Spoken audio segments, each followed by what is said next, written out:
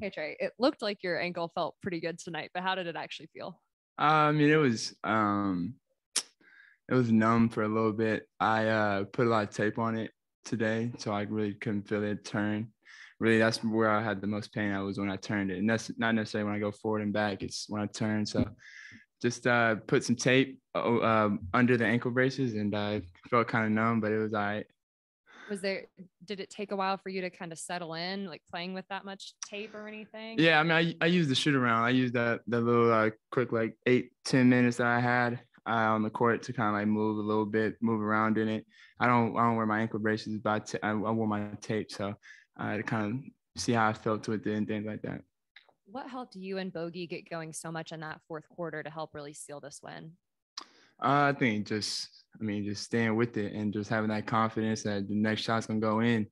And uh, I mean, I had that confidence all night, and I know Bogey always has that confidence. So to have that tonight and to see a couple go in, I mean, it, always helps. Um, Nate said that he got word about like 40 to 50 minutes prior to the game that you'd actually play. But in your mind, was there any doubt that you would actually play tonight? Uh, a little bit, to be honest. Like I, uh, I was thinking about about it on the way to the arena. Um, just understanding we had back to back too. Uh, not wanting to to to mess it up even more, but I mean, if I felt comfortable and shoot around with the tape, that was my main thing. Just wanted to, to see how it felt with the tape on it. Uh, I hadn't played in tape in a minute, so to see how that felt before I really made a decision. Obviously, when you were in Chicago, you, you played poorly that night. Um, mm-hmm how much did you want to, you know, get back at these guys? Obviously, they're one of the top teams in the East.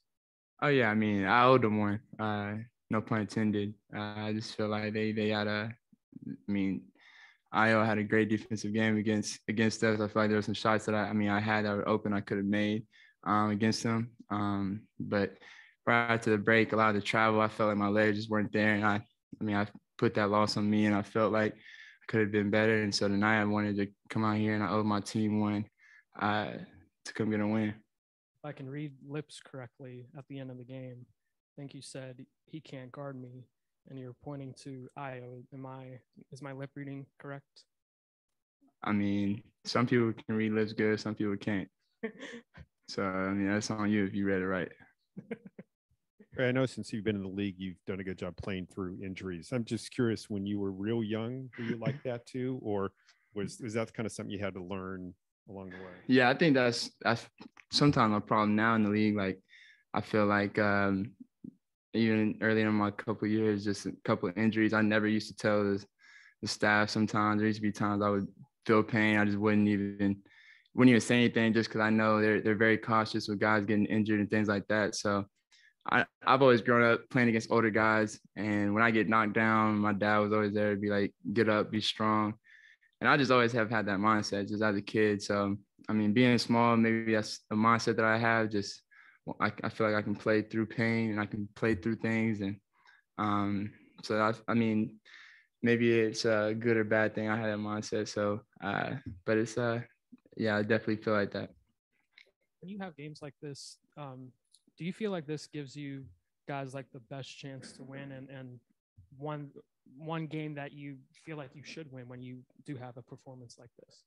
Uh, yeah. I mean, it's hard to say that because every night is different. And every night brings a different challenge. So some nights, I mean, I can have a night like tonight, and I mean, us fall short sometimes, and it's it's tough and it sucks. But sometimes that's just how the ball rolls, and and uh, but I think tonight we really dictated the game on the defensive end, um, allowing those guys to to I mean making it tough on them every time they shot. Um, they still made some tough shots and things like that, but just making it tough on them. And then uh, I think we we did a good job of dictating how we wanted the game to go.